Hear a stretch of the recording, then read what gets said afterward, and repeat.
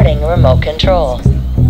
Herkese selamlar dostlar. Ben Güngör. Webte ne var kanalına hoş geldiniz. Umarım hepiniz iyisinizdir. Daha önce sizler için kanalımızda Roborock S5 Max ve S6 Max V modellerini karşılaştırdık ve bu videoya gelen yorumlar olumlu yöndeydi. Şimdi ise benden yine piyasanın en çok satılan modellerinden olan Roborock S6 Max V ve S7 Sonic modellerini karşılaştırmamı istediniz. Ben de bu isteğinizi geri çevirmek istemedim ve bu videoyu sizler için hazırladım. Kısaca bu iki model arasındaki 1000 liralık farka değecek mi? Aralarında ne gibi önemli farklılıklar bulunuyor? Bunları kullanıcı yorumlarıyla, kullanıcı deneyimleriyle birlikte sizlere aktaracağım. Şimdi dilerseniz videomuza geçelim. Ama geçmeden önce gerçekten bu videolar sizlere hazırlarken emek verip araştırarak hazırlıyorum. Sizlerden de ufak bir ricada bulunacağım. Aşağıdan kanalımıza abone olmayı ve videoyu beğenmeyi lütfen unutmayın. Hatta bildirimleri de açarak bu türdeki videolardan anında haberdar olabilirsiniz. Hadi gelin şimdi videomuza geçelim.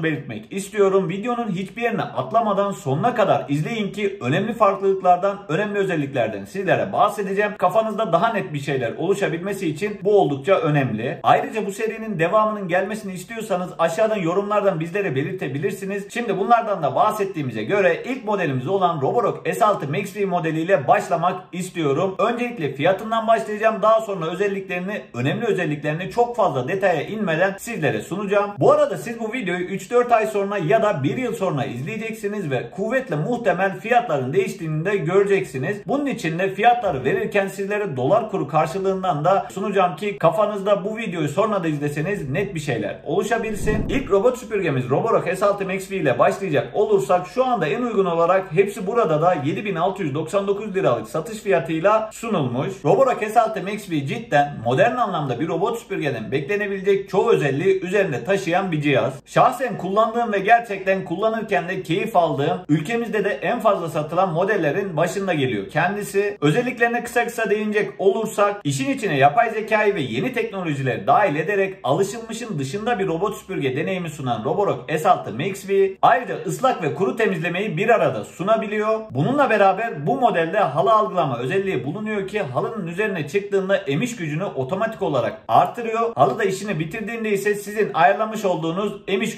gücüne tekrardan dönüş yapıyor. Roborock S6 Max V'nin toz haznesi kapasitesi 460 ml iken su haznesi kapasitesi ise 297 ml olarak bizleri karşılıyor. Emiş gücüne geldiğimizde ise 2500 Pascal vaat edilmiş ki bu değerinde gayet ideal olduğunu söyleyebilirim. S6 Max V'nin olumlu yönlerinden en önemlisi ön tarafında bulunan çift kamera sayesinde haritalama tarafında ortama daha hakim oluyor ve çok daha etkileyici navigasyon deneyimi de sunuyor. S6 Max V'de ayrıca 5200 mAh'lik batarya kapasitesi mevcutken 3 saatlik de çalışma süresi vaat edilmiş. Yine bu modelimiz 250 metrekarelik alanda temizleyebiliyor. S6 Max V'nin şarj süresi 6 saatken bu sürenin biraz uzun olduğunu da söylemeden geçmeyelim. Cihazda ayrıca 2 santimetrelik açılabilir yükseklik özelliği de mevcut. Olumlu özelliklerinden bahsedecek olursam Reactive AI denilen yapay zeka teknolojisi sayesinde yolunu daha kolay buluyorken bununla birlikte kolay bir şekilde rotasını çiziyor ve tüm bunları yaparken yolunun üstünde temizliği aksatabilecek ve kendisine zarar verebilecek objeleri tanıyıp onlardan kaçınabiliyor. Biliyorsunuz bu özellik selefi olan S5 Max modelinde yoktu. Üstelik ön tarafında bulunan çift kameraya uzaktan bağlanarak siz evde olmasanız bile uzaktan sesli kontrol ile robot süpürgenin dışına sesinizi duyurabiliyorsunuz. Yani böylelikle de örneğin siz evde yoksunuz dünyanın neresinde olursanız olun çocuklarınız evdeyken onlara seslenmek istiyorsunuz veya evcil hayvanınıza robot süpürge aracılığıyla seslenmek istiyorsunuz. Bu noktada yardımınıza S6 Max V koşuyor. Bu da gerçekten S6 Max V'nin bana göre en yenilikçi, en sevdiğim özelliklerinden birisi. S6 Max V'nin olumsuz yönü olarak sadece 6 saatlik şarj süresinin olmasını söyleyebiliriz. Bu süre gerçekten biraz uzun görünüyor. Bunun haricinde de çok fazla olumsuz bir deneyim görmedim. Roborock S6 Max V'nin fiyatından en önemli özelliklerinden bahsettik. Şimdi de birlikte Roborock S7 Sony'e bakacağız ama bakmadan önce kanalımıza hala abone olmadıysan aşağıdan aşağıdan abone olmayı ve videoyu beğenmeyi lütfen unutma. Hadi şimdi devam edelim. Roborock S7 Sony'ye geldiğimizde ise en uygun olarak şu anda Trendyol'da 8810 liralık fiyatıyla satışa sunulmuş. Özelliklerine bakacak olursak bu modelimizde ıslak ve kuru temizlemeyi bir arada sunuyorken toz haznesi kapasitesi 470 mililitre, su haznesi kapasitesi ise 300 mililitre. S7 Sony'in emiş gücü ise 2500 Pascal'ken buraya kadar S6 Max V modeliyle bir fark göremedik. Ama bence en önemli farklılıklardan birisi mob kısmındaki sonik titreşimlerle birlikte zeminden geçerken sadece paspaslayıp geçmiyor. Bu titreşimler sayesinde bir nevi ovalama yaparak zemini temizliyor. Bu da daha derinlemesine daha detaylı bir temizlik performansı demek oluyor. Ayrıca S7 Sonic'te de 5200 mAh'lik batarya kapasitesi mevcutken bu değer S6 Max V'de de aynı şekildeydi. Bununla birlikte 3 saatlik çalışma süresi de S7 modelinde de vaat edilmiş. Buraya kadar çok önemli bir farklılık göremedik. Yine S7'de de 6 saatlik şarj süresi mevcutken 2 santimetrelikte aşılabilir yükseklik özelliği mevcut. Bu modelin en önemli özelliklerinden birisi mop yaparken zemini sonik titreşimlerle birlikte daha derinlemesine daha detaylı olarak temizlemesiydi. Olumsuz olarak ise yine S6 Max V'de olduğu gibi 6 saatlik şarj süresinin bulunmasını söyleyebiliriz. Şimdi iki cihazın da en önemli özelliklerini ve fiyatlarını sizlere sundum ve en önemli farklılıktan bahsettim. Peki ben olsam bu cihazları içerisinde hangisini alırdım? Öncelikle bence aradaki yaklaşık 1000 liralık farka değecek önemli kayda değer bir özellik bulunmuyor. Her iki modelinde batarya kapasitesi 5200 mAh,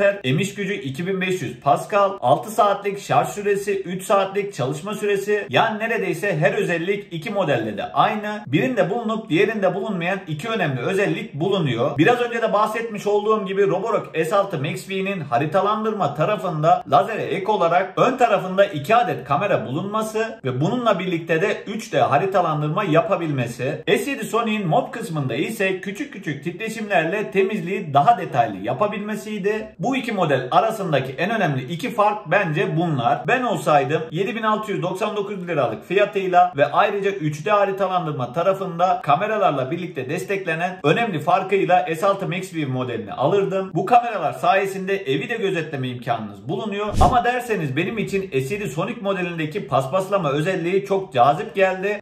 Roborock S7 modelinde burada tercih edebilirsiniz. Günün sonunda her iki modelde robot süpürge alacakları önerdiğim, ülkemizde en çok satılan ve fiyatını sonuna kadar hak eden modeller. Yani her iki modelde alsanız da pişman olmayacaksınız. Ama ben burada sizlere farkları sundum, fiyatları sundum. Ben olsam hangisini alırdım bu sorunun cevabını da sizler için videomda belirttim.